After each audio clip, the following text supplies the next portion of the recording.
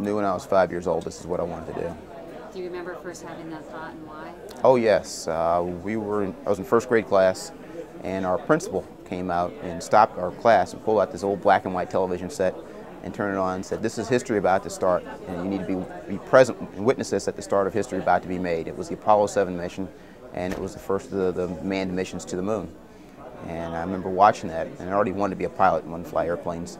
And looking at that rocket lifting off from the pad and heading off into the sky, thinking, boy, can I be a pilot and do that? And my, remember my dad telling me, oh yeah, you can do both those. And after that, it was just done. I that was where I was headed.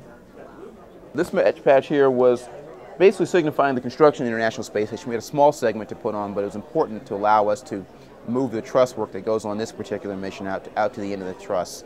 Uh, also, we have on the corner there a, this torch. It's the flame of knowledge, and uh, it signifies education, that torch of uh, knowledge being passed from generation to generation in honor of uh, Christa McAuliffe, who had gone up beforehand.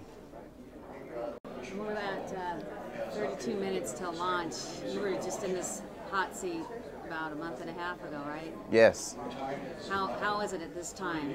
At this time, just relaxing. It's, it's been busy for the last several months leading up to the launch, and really there's nothing to do but wait for the countdown at this point and hope the weather holds out. Uh, hope everything, all the systems come together and you get to go. Uh, at this point, honestly, I was probably asleep at 32 minutes prior to launch. Uh, and my biggest concern was sleeping through the, the communications check. Uh, Barb Morgan, our, our, teacher in space, was sitting next to me, and I told Barb her primary mission during countdown was to slap me to make sure I was awake when my turn came for the count uh, for the communications check. That's a great story. It's the first time I've heard that, someone no. dozing off, right? Is that common or among you guys? Uh, well, I remember one point looking up during our countdown, and all, Barb Morgan and Dave Williams, who are both with me on the mid deck, were all asleep.